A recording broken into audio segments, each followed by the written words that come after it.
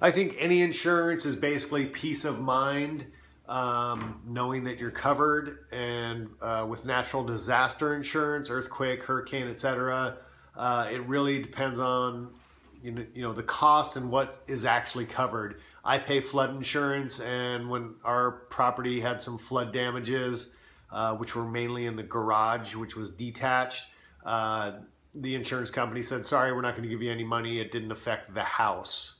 Uh, you know, it's like, well, to me, it's like, what's the difference? My stuff in the garage that uh, got damaged is just as important to me, but in the insurance company's eyes, uh, it wasn't in the dwelling, um, so there wasn't any checks issued for the damaged stuff. So uh, if you're going to get that type of insurance, make sure you know exactly how you're covered and what it covers, and it's more of, of peace of mind uh, I know people that own properties that aren't insured at all. So um, it's more of a personal choice.